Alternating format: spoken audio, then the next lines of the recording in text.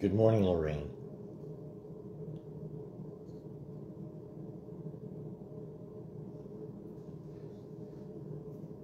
Okay, I see uh, by my clock that it is 9 o'clock and it is time for Wednesday's edition of Cup of Faith. Thank you for taking a few minutes of your time to join me. Over the past few weeks, I've been bringing a topic to you that I hope increases your faith. And what I mean by that is increase your confidence in God, in the character of God, in the promises of God, and in the track record of God. So far, we have talked about the God who runs to us. This was a story from the, from the prodigal son, where the father literally ran to embrace his son and declare him found and alive.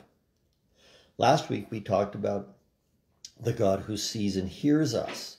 This was the story of Hagar, who had left her, her husband or her master, depending on what you read, and with her son alone in the desert sobbed and she said she could not bear to watch the boy die. But the angel declared to her that God had seen the boy's tears and had heard his cries. So the God who sees and hears us. Today, for a moment, I'd like to talk about the God who thinks of us. Not too long ago, Brenda and I received a gift in the mail uh, from a friend that we have known for over 25 years who lives in Swift Current.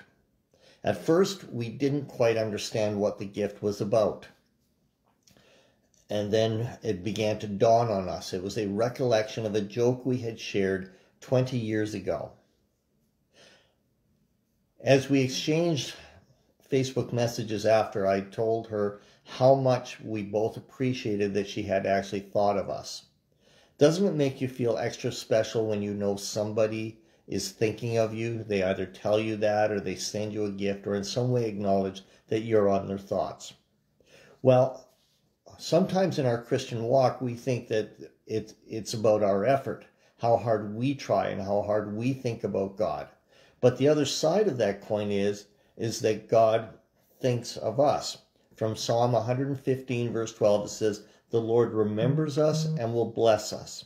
How precious it is, Lord, to realize that you are thinking about me constantly.